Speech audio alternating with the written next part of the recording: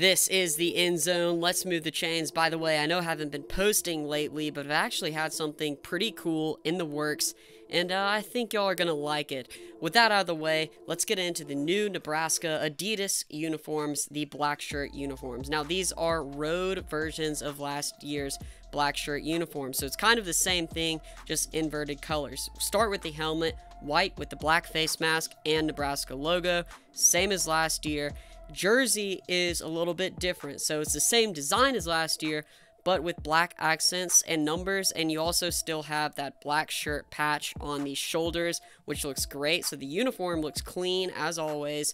Again same thing as last year just inverted. Now the pants i think they did a great decision here black with the red in. I'm happy they didn't go all white. I'm happy that they went with black kind of to contrast the white of the whole uniform. Sometimes a white out isn't always the greatest thing. I like to see teams mix it up like this. And then for the accessories you have black gloves and black cleats to just match the rest of the jersey with the black shirt uniform.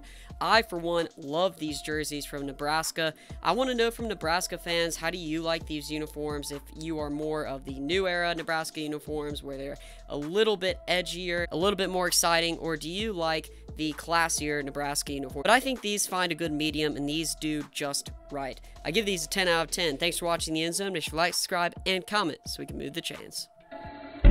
Thank you.